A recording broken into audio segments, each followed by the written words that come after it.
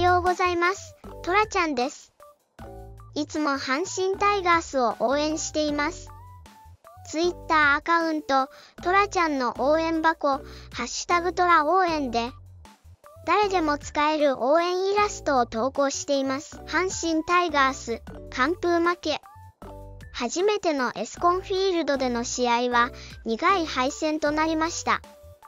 先発の富田蓮選手、2回からファイターズ打線につかまり、球数も増えてしまい、3回で降板。ほろ苦デビューとなりましたが次があれば頑張ってほしいです。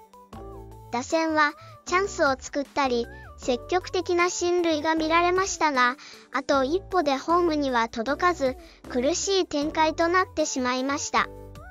大きな打球も3本はあったので、超えられなかったのが悔しい。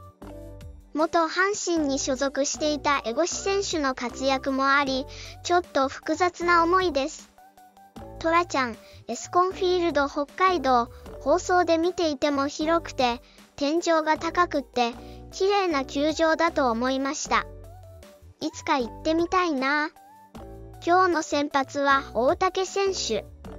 ここまで負けなし、チームを支えている選手です。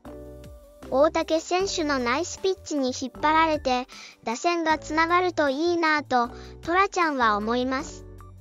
今日もスタメンや打順は変わりそう。出場選手は頑張って。9連戦もあと2試合、総力を挙げて、勝ってほしいです。トラホー、できますように。今日も全力トラ応援。トラちゃんでした。チャンネル登録よろしくお願いします。